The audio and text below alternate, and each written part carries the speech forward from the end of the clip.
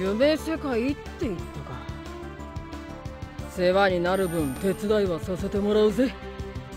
10日交換だ。異世界で出会えたのも何かの縁だ。姫君は私がエスコートさせていただいても。錬金術の国ね。どこにいても人間は愚かなことをやってくれそうだよね